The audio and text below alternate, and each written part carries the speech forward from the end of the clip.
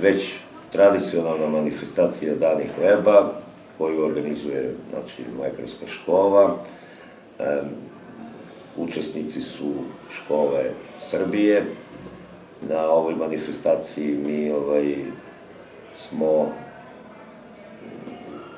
pozivamo i uvek se rado odazivaju znači, ovaj, škole naše iz Pirdopa, Kranja i Prijedora, tako da očekujemo da će ove godine da budu prisutne. Možda će ove godine da bude neka novina vezana za ovu manifestaciju.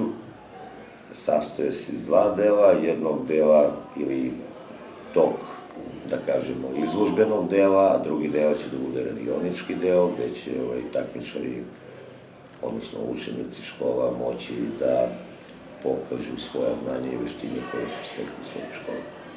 Kažem, vidit ćemo, možda postoji mogućnost za jedno iznenađenje, tako da ćemo celogupnu manifestaciju da još više prilagodimo svojim odnosno našim svojinima. Kad kreće to? Od ranih jutarnjih sati, od koliko tačno? Osam, 18.